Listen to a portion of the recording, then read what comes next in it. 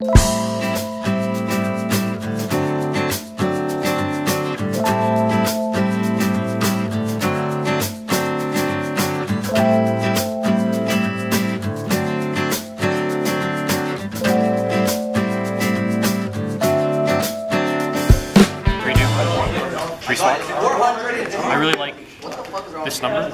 Like, uh, if you open dupes, you can get swap, Swap Frogs, and I really, really like making the Toadally Awesome. And then on their turn, summoning the dupe frog, so they're forced to run it over before they're able to run over the, the toad. And then if they run it over, you just get Swap Frogs, you just more card advantage. And especially in like mirror match, lets you summon your totems from your, your grave uh, you know, more frequently. Then uh, the other monsters I played, I played uh, two backjack. Uh, these are really important. I made I played them for anything except for Paleozoics. It's really good grave manipulation, and there's a card I combo with it to basically make it a, a, glor- a better jar of greed, and also lets manipulate your deck and you know, traps from your top of your deck. Then I play two maxis. Uh, I really like the interaction with it being level two, and being able to summon a trap and then summon this when like they have nothing to actually special summon, and then you overlay into the Opabinia. Uh, other than that, especially in your match, you can make wonky plays where they'll they have a bunch of Paleozoics in, your, in their grave, and you activate a trap. They'll summon a Paleozoic, and then you chain another trap, and summon a and then you basically try and get the chains as high as possible to then chain max on the last one when you draw four.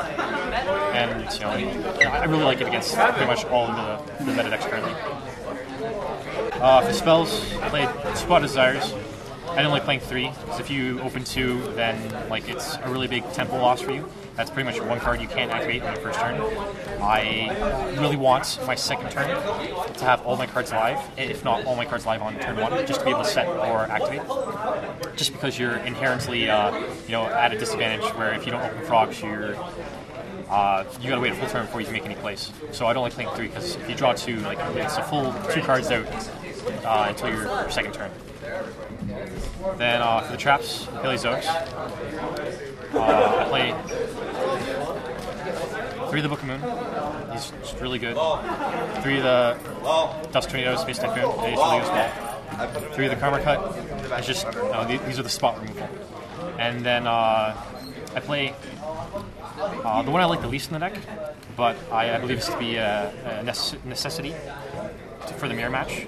I actually don't like playing this card against anything but the mirror match, but it's just it's too good in the mirror match to not play. So I had to, I was actually originally playing Shape Sisters, and I really like that version because it lets you activate Shape Sister or one card into an. And you know, if they have a strike or whatever, you can get a strike for one card. And if you don't have a strike, well, then you got a one card Opabinia, and then you detach and just pretty much try and go off from there. But since this is uh, really good in the mirror match, I had to fit these in and play a different engine that. And then lastly, I only play two Pika. Uh, I don't like really opening up this because it's a card that doesn't actually do anything on your first turn or their first turn. And if you open up like two of these, then like if you if you want to try and get their effects off, then you have to have you have to hold two cards in hand, and so of your initial five card hand, you have one, two, two cards you're holding for them, and one card set, if it's even a trap. And if it's not, then you know you're holding two cards that are just gonna you, know, you can potentially get you blown out. Is what I'm saying. Like, and I really don't like that. So I, that's why I cut it down to two. I was usually just playing one in my old version, but I, I it just so I could uh, potentially see it a little bit more. And uh, this one I can go back and forth shifting one. Yeah, you don't need this, like, especially playing this. This fills your grave up quick enough. Uh, but pretty much just playing two in case you do banish one with desire, so you can get the second one off Bohemia. And then uh, the rest of the traps, play uh, Big Reckless Greed. Uh, resolving, I'm pretty sure when I resolve this, I have won every single one of my games. When I sorry, when I resolve it on my turn, you resolve it on your opponent's turn, it puts you actually really far behind. You, and a lot of situations, you it may actually be more correct to just let them typhoon it if they pop it on your on their turn, because you're effectively not even gaining any card advantage for any turns. Uh, and then the turn after you're actually negating if you activate it on their turn. So you always want to activate it on your turn if possible. Then uh, I play two Fiend things to combo with uh, the backjacks. It kind of activates as a, a better jar of greed, the, the combo. It allows you to do some you know pseudo manipulation of the grave. Like uh, it- it's kind of relevant against ABCs specifically. You can put back uh, an important piece that they're you know they only have one of, and then you can set your draw for the next turn. And if you want to activate that trap on that turn, sort of like uh, Jar of Greed, you put it, put it into play and you can activate it right away. So it's just like a an instant speed, uh, or allows you to instant speed the trap on top of your deck, sort of like Jar of Greed, and you know deck manipulation, which is you know it's a, a rarity in Yu-Gi-Oh. Uh, then we have the rest of the engine with uh, Morella, uh, spiritual swords of revealing light and breakthrough skill. Breakthrough skill is just kind of like you know, it, it gives value to Merrill, Morella, so that way you can get an effect negation on your turn. Uh, most notably, uh, uh, side deck, you can shotgun this or Morella into this in the grave, and then you have something to out. And then this is just for situations where you know you open up Morellas and uh, Pikas, and you know they just go balls to the wall and try and kill you. At least you can you know not die that turn by setting this with Morella, and then you know, they can't attack that turn. And it's even not even that bad if you draw into it. You can uh, flip it on your turn to summon a plays out from grave, and the effect is once per attack you can uh, pay 1,000 life points to negate the attack, so it's somewhat relevant to protect your monsters. Then uh, play three Waboku. This basically lets you summon a monster and protect your entire field of monsters. It is generally pretty hard this format to blow up with monsters without effects. So if they're one of your Paleozoics, uh, sorry, running over your Paleozoics is just generally uh, the more common way to actually kill them. Uh, unless they actually drop a Geki or something. And then lastly, uh, three strike and warning. These things are super important. The mirror match, uh, mirror match, Metaphys, and ABC. It's like no to your ABC Dragon, no to your Pendulum, and no to any type of established board with Paleozoics. So like, usually the mirror match, you can, you know, if you're trying to set up your board a little bit, you can let them have a few monsters, as long as like you're holding a strike. So that way you can, you know, stop their, their toad that they're making. Uh, I would try and refrain from summoning monsters, unless like you have like a really good tempo swing where you have monsters know, they don't.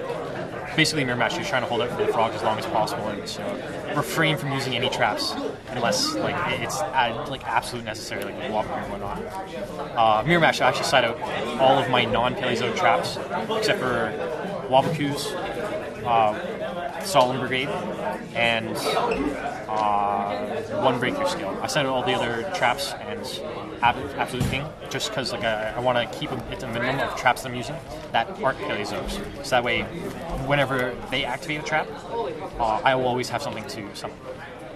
And like obviously the rest of the cards I in are just uh, you know, things that are strong in the mirror match. Uh, for extra deck, uh, play three toads. Uh, I think it's absolutely necessary playing the frog engine. If you actually make turn one toad and they stumble and don't do anything, you can actually summon two two more toads on the next turn and just just push the push them in. Uh, three Opabinia, which uh, in testing with my Shapeshifter version, uh, I felt it absolutely necessary to make Opabinia uh, at three just because like you would go Shapeshifter, summon a Paleozoic, make this, and you'd be bidding out strikes. Whereas this version, you're more so bidding out strikes with uh, the Toad and getting more advantage. So this is uh, probably a candidate that you can cut to two, but right now I have it at three. And I, I never needed more than actually. No, I, I, needed two once. I never needed three. Then I play two Anomalocaris. He's just uh, he breaks boards. I don't think I, I, made it two once, but I didn't need to make the second one. It, it's just uh, it breaks boards and you get a lot of card advantage out of this. Uh, then the three other rank twos that are really important outs things. Monsters that can't be targeted, uh, problematic cards like Jinzo and or Decree, and then you know make your uh, your Toad double its attack to run big things. And then the last XYZ uh, F Zero. The normal play is uh, make Opabinia, make Toad, make Cat Shark, double Toad, and then overlay Cat Shark with Opabinia into this. Take monster, and uh, attack for 44 and whatever monster you take. It's also out you know, super problematic cards. And then uh, ABC Buster Dragon. Uh, I side cherries, and I only side cherries for a mirror match in this. I didn't feel like I needed for anything else. And then lastly, uh, Catastor and Pearl Dragon. Catastor more so if I had a cherries after game one and they dimensional barrier me, I can at least you know sink into it. And you know it, it's a card that you know if you don't have it like a direct out to it, it, it can be sort of problematic to deal with. Uh, it was my rank 5 choice. And then Coral Dragon was for specifically Flying Sea if someone flying seed me, which you can only flying see on the frog summons, you can't flying see on the Paleozoic, you can summon the the cherries and sink into this. And he's pretty good. He has card advantage. He can pop stuff. And side deck, I play uh, two Gameciels for Toads, Buster Dragon, and what was the last one? Uh, Dark Claw. Uh, Dark Hole, Raigeki for Mirror Match, and uh, just basically side deck stuff where I think they're going to side up the Denko Shinzo. Cherries for people playing the Toad and uh, ABC Dragon. Pot of uh, Acquisitiveness for anyone that I believe is playing uh, Cherries and or Mirror Match. Uh, Anti-Spell Frag solely for any Pendulum decks, most notably uh, Maples. Uh, Chaos Hunter for ABCs. Uh, it wasn't relevant today. I didn't draw it. And then my uh, Secret Tech for Mirror Match. Two Soul Release. I really like this card for Mirror Match. Uh, I blew out two people with it today. Basically, the idea is both players will usually get into uh, stalemate where no one wants to activate traps, and you'll have both have a bunch of traps in your graveyard, and then this kind of forces the situation. And if they don't actually have more than five, and like you can also banish Ronintoadins with this, uh, they can try and save their monsters. But if you have five Paleozoics in your grave, you can stun every single one of them, and then just completely clear the grave out, and then you're free to basically summon your monster through your traps. Uh, I wouldn't recommend siding this uh, for any other deck against Paleozoics because uh, you know, ABCs they try and still release Paleozoics, they can actually just chain all the traps and summon them all, you know this it, will still banish everything else, but you know, it, it, doesn't do the job well enough. And then lastly, specifically for the mirror match, uh, Lullaby uh, of Obedience. Basically, just call Swap Frog. Swap Frog is super important in the mirror match. Uh, important enough to you know, pay 2,000 life points to take it. And if they don't actually open it, that's one less Swap Frog for them to open. If they put it in your hand, you can like discard. Uh, you know, a water monster, summon it, summon, send Ronintoadin, and you just make you know Toad. It, it's really important. I, I only decided this uh, going first in the mirror match. And overall, the deck performed really, really well today. The I, I probably wouldn't even cut anything from this. Uh, if Paleozoics are on the, on the decline of actually people playing them, I would probably cut the Merrill engine for my Shape Sisters. But with the turnout today, there was a lot of people playing Paleozoics. I'll probably have to keep the list uh, identical list for now. But like mirror match, it was I, lost one actual game up until the last round, and that was only to uh, my own misplay. And then we ended up drawing that match. I, I just beat him in time. And then uh, I go to the last round. I end up losing the ABCs uh, in the last round of Swiss. He opened up really, really well. I kind of opened up kind of poor, and he had a Vanity's Emptiness. And then game three, opened up double dupe, triple dupe, and Ronintoadin, and I just couldn't do anything. But uh, overall, the deck performed exceptionally well, and I am very confident with, uh, with this list. Uh, uh, on the note, that uh, concludes this. Thank you.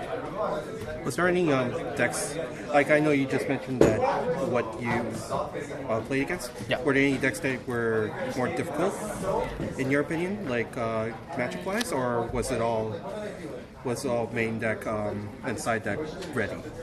Um, I didn't necessarily have uh, a side deck for my top four match. I ended up losing the heroes in the last round, but it, it was more of a I, I don't want to say I lost specifically like to not knowing information.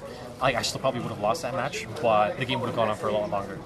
Uh, I, I, played against Heroes. He uh, nut drew me game one, and then game two I nut drew him, and then game three I didn't know he was playing Forbidden Lances and he was able to get through it. But other than that, the matches were, you know, like I, I love this against Metaphys, ABCs, Burning Abyss.